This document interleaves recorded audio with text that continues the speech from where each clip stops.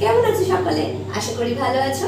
আমিও ভীষণ ভালো আছি। ভালো তো থাকতেই হবে, কারণ তোমাদের সঙ্গে দেখা হবে যে বিকালবেলা। এই আশাতেই আমি খুব ভালো থাকি। সারাদিনটা আমার ভীষণ ভালো কাটে। আচ্ছা বলো তো, আজ আমি কি রেসিপি নিয়ে এসেছি?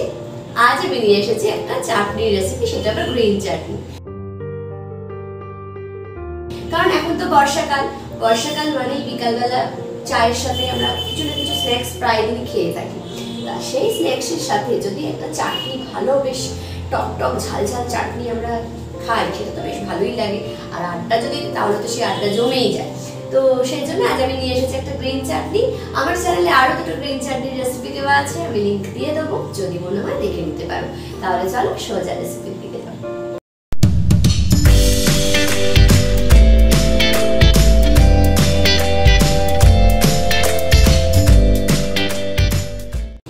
গ্রিন চাটনিটা বানাবার জন্য কি কি উপকরণ নিয়েছি সেটা আগে তোমাদেরকে দেখিয়ে এখানে যেহেতু গ্রিন চাটনি বানাবো, নিয়েছি ধনে পাতা, নিয়েছি বাদাম, চিনে বাদাম নিয়েছি নিয়েছি আদা আর কাঁচা লঙ্কা। কতটা নিয়েছি সেগুলো আমি ডেসক্রিপশন বক্সে দিয়ে দেবো, তোমরা দেখে নিও।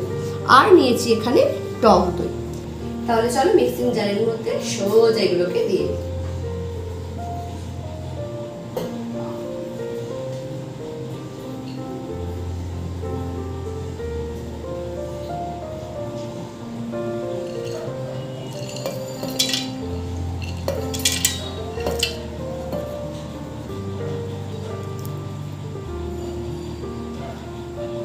দিয়ে দেবো স্বাদ অনুযায়ী নুন। ঘুরিয়ে নিলেই চাটনি রেডি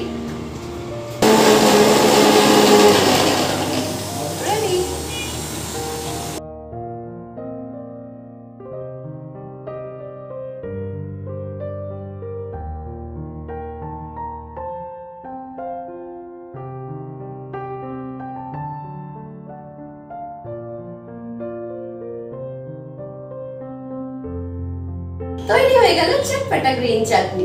যদি রেসিপি ভালো লাগে ছোট করে একটা লাইক দিয়ে দিও, আর দু এক কথা ভালো মন্দ আমার সম্বন্ধে কমেন্টের মাধ্যমে লিখিয়েও দিও। তাহলে দিলটা খুশ হয়ে যায়। চলো আজকের মতো এই পর্যন্ত, কালকে আবার হাজির হয়ে যাব। আমার মনের মতো একটা রেসিপি তোমাদের সঙ্গে শেয়ার করব বলে। ভালো থেকো, সুস্থ